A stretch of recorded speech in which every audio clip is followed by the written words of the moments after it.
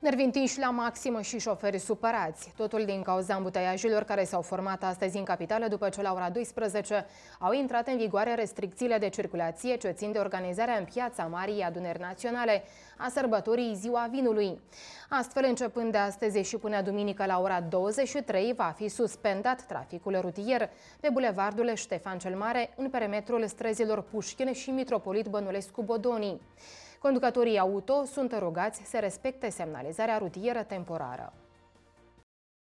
Începând de astăzi și până duminică seara, rutele de troleibuz numărul 4, 5, 8, 22 și 28 vor fi redirecționate pe strada București în ambele direcții. Troleibuzele de pe ruta numărul 30 vor circula de pe bulevardul Ștefan cel Mare pe strada Vasile Alexandri, București, Pușkin, bulevardul Ștefan cel Mare și în continuare pe traseul stabilit. Autobuzele de pe ruta numărul 5 vor circula de pe strada Mitropolit Bănulescu Bodonii pe strada 31 August Pușkin, bulevard bulevardul Ștefan cel Mare și în continuare pe traseul stabilit. Cele de pe rutele numărul 9, 11, 17, 46 și 122 vor fi redirecționate pe strada București în ambele direcții.